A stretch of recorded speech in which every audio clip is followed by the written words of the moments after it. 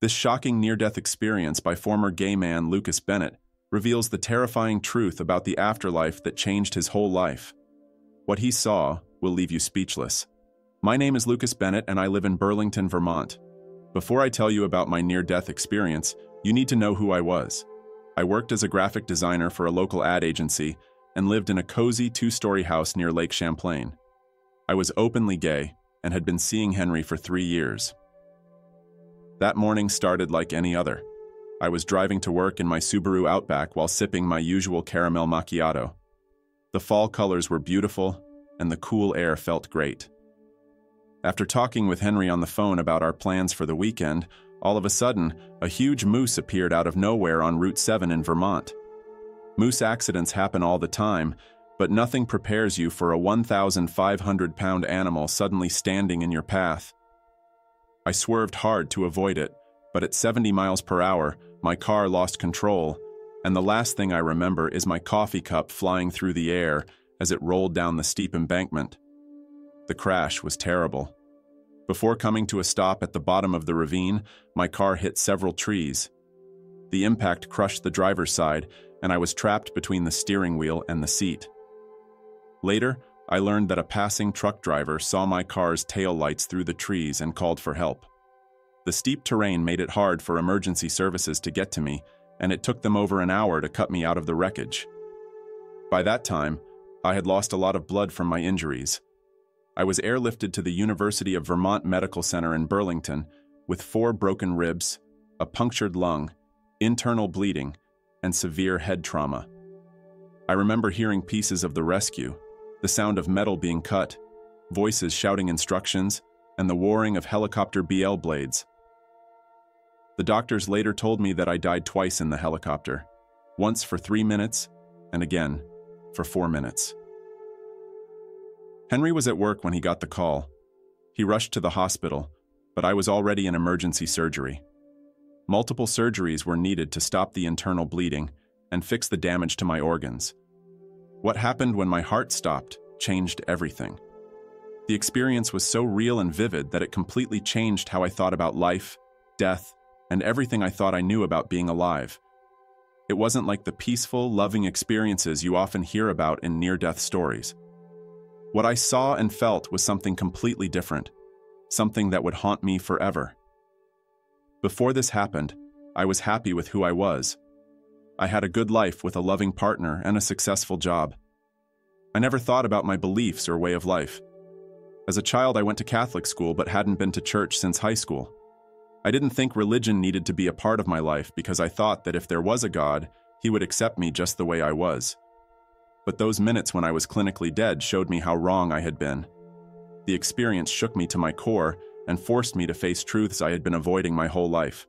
What I saw in those moments between life and death would change not only my beliefs, but also the way I live my whole life. When my heart stopped, everything changed. It wasn't like falling asleep or passing out. It was instant and crystal clear. As I float above the helicopter, I could see the paramedics working hard on my lifeless body below, but I felt strangely detached from it all, like I was watching a movie about someone else. Then there was the tunnel. Not the calm, warm light that most people describe, but a swirling vortex that pulled me in with incredible force. It felt like being sucked through a vacuum at impossible speeds, and colors I'd never seen before swirled around me, there was a deep hum that seemed to vibrate through my whole being. As I moved through the tunnel, I started to feel like my life's actions were being laid bare. It wasn't just memories playing back. It was like I was living every moment at once, but this time I felt the full weight and consequence of every action. There was a bodily weight on me for every lie I told, every person I hurt, and every selfish choice I made. The revelations that hurt me the most were about my relationships. I saw Henry, but not in the loving way I was used to seeing him. Instead, I saw how our relationship, which I had always protected as love, was actually hurting both of us spiritually. Every private moment we shared showed up as dark spots on our souls, like ink drops in clear water. I saw my childhood. When I first started feeling different from other boys, I remembered the confusion, the fear, and eventually the defiance against traditional values. But now, from this new perspective, I could see how each step away from my early religious upbringing had led me further from truth. The tunnel experience felt like it lasted for hours, though it was probably just seconds in real time. Then suddenly everything stopped. I found myself in a vast space that defied description. It wasn't dark or light, it just was, and I wasn't alone. A presence approached me. It wasn't a physical form, but I knew immediately who it was. Jesus Christ himself. The recognition came with absolute certainty, like suddenly remembering something you've always known, but somehow forgot his presence was overwhelming. Pure love, mixed with an authority that made me want to fall to my knees. But this wasn't the gentle Jesus from Sunday school pictures. This was the King of Kings, the judge of all creation in his presence. Every justification I'd ever made for my lifestyle crumbled to dust. I couldn't hide anything, not from him, not from myself. He didn't speak with words, but his message flowed directly into my consciousness. I knew that he loved me very much, almost too much, but that love didn't mean that he agreed with all of my decisions. I realized that the way I was living, which I thought was normal and right, was actually going against what God had planned. It was clear to me that my sexual orientation wasn't the sin, it was choosing to act on it and make it my identity that was. Every time I told someone to be themselves by accepting their homosexuality, I saw how this choice had affected not only me, but also those around me. I had actually been leading them away from salvation. The hardest part was when Jesus showed me other souls who had made the same choice as me. I saw them in a place that wasn't quite hell, but wasn't heaven either. They were stuck in their own excuses and couldn't move forward because they wouldn't understand the truth about their choices. What really struck me was that many of these souls were religious, even Christians, but they had chosen to misinterpret the Bible in ways that supported their lifestyle rather than following God's plan. I saw how this choice to misinterpret had put a wall between them and true salvation. Jesus then led me to see something that still makes me shudder. I caught glimpses of hell, but it wasn't the comic version with red devils and pitchforks. It was a much scarier place, away from God's love, where souls face the full effects of their choices. I realized at that point that hell wasn't a punishment God made out of anger, but rather the logical result of choosing to live apart from Him forever. The souls there had made that choice in their earthly lives, and now that choice had been made forever. What happened next was even worse. Jesus started to show me the truth about sexuality and gender the way He planned it. I saw that the union of a man and a woman was more than just physical. It was a spiritual reality that showed deep truths about God's relationship with people. I learned about how modern countries work. Accepting alternative lifestyles wasn't growth, it was a clever way to trick people. Every move away from standard marriage and gender roles was a move away from God's truth. As the revelation went on, I was shown the spiritual effects of pride parades, gender transition surgeries, and same sex marriages. From this heavenly view, I could see the spiritual darkness that surrounded these events, even though they seemed like happy, celebratory times. What hurt the most was realizing how my activism had affected other people every time I spoke out for LGBTQ plus rights. I was knowingly leading others away from salvation, and the weight of this responsibility was crushing.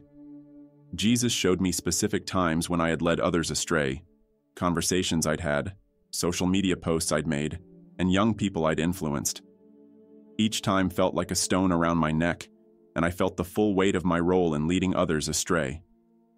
But through it all, I didn't feel condemned by Jesus. I only felt an overwhelming love and desire for them. For me to understand the truth, he showed me how many of my gay friends were actually struggling with their choices, even though they seemed happy and proud of their choices. Then he showed me two possible futures. In one, I continued my current lifestyle and died without changing, facing the eternal consequences. In the other, I accepted the truth, quit my gay lifestyle, and helped others do the same. The difference between these two futures was stark and undeniable. I was shown that my same-sex feelings weren't my fault.